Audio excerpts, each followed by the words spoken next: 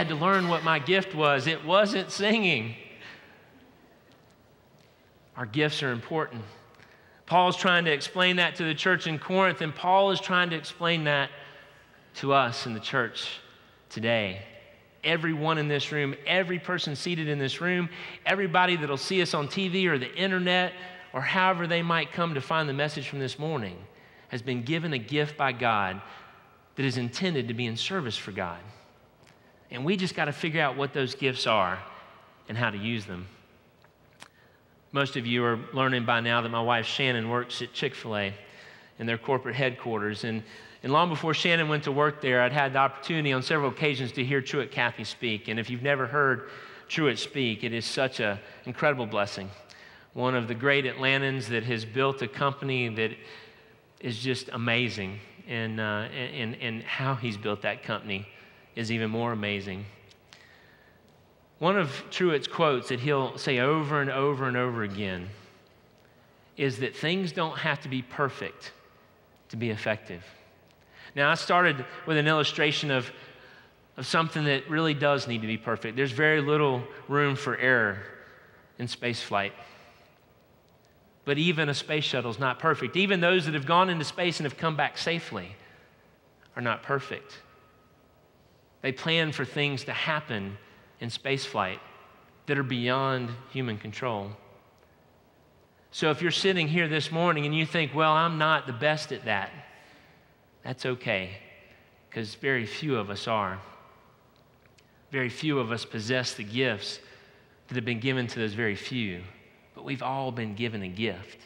When used to the best of our abilities, regardless of if it's perfect, can do amazing things for God.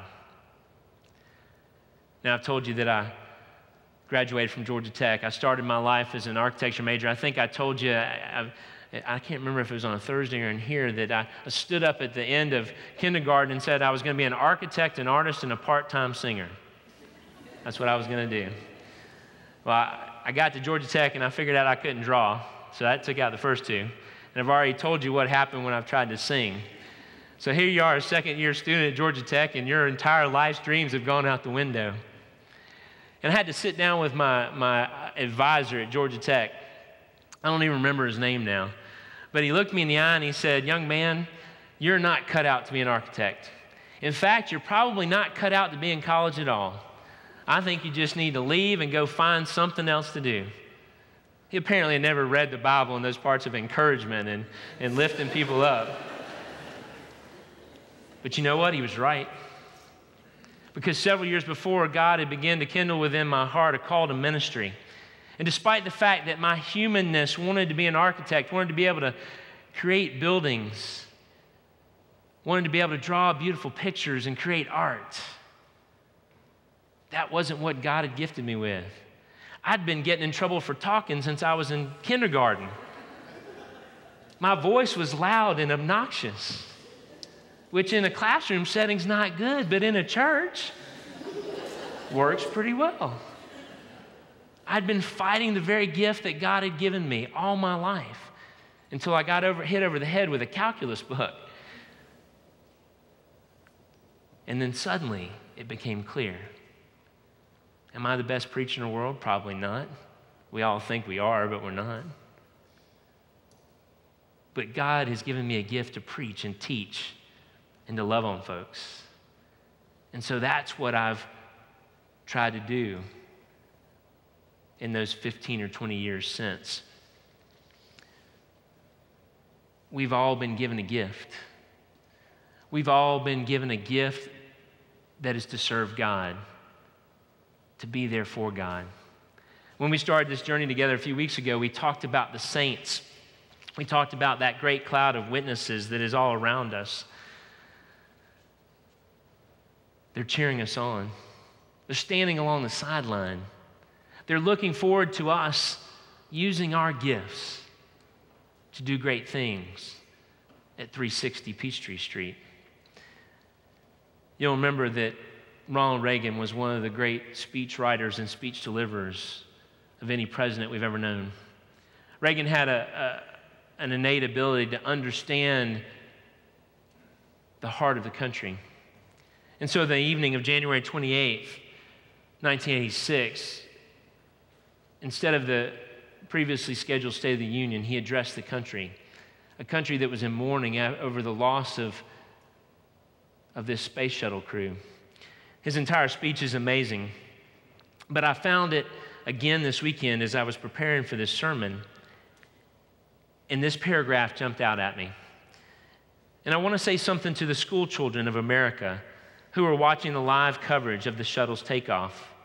I know that it is hard to understand, but sometimes painful things like this happen. It's a part of a process, it's all part of the process of exploration and discovery. It's all part of taking a chance and expanding our human horizons. The future does not belong to the faint hearted, it belongs to the brave. The Challenger crew was pulling us into the future, and we will continue to follow them.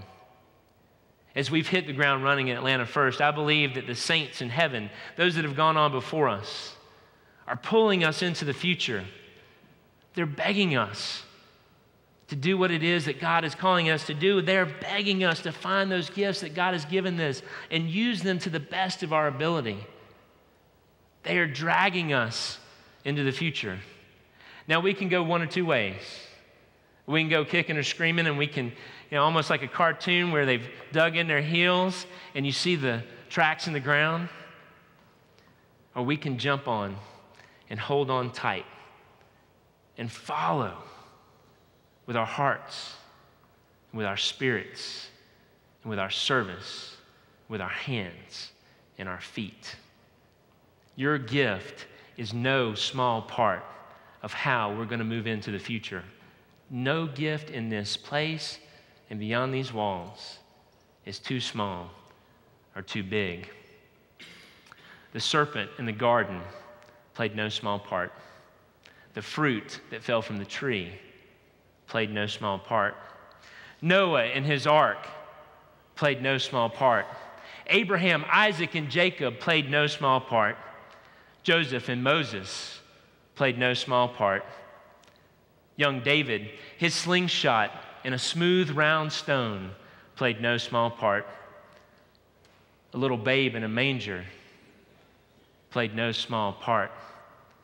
A little boy in the temple played no small part. 30 pieces of silver, an angry mob, three huge spikes one enormous stone, one God, one Spirit, one gift. What's your gift? What's your part? To give anything less than your best is to sacrifice the gift.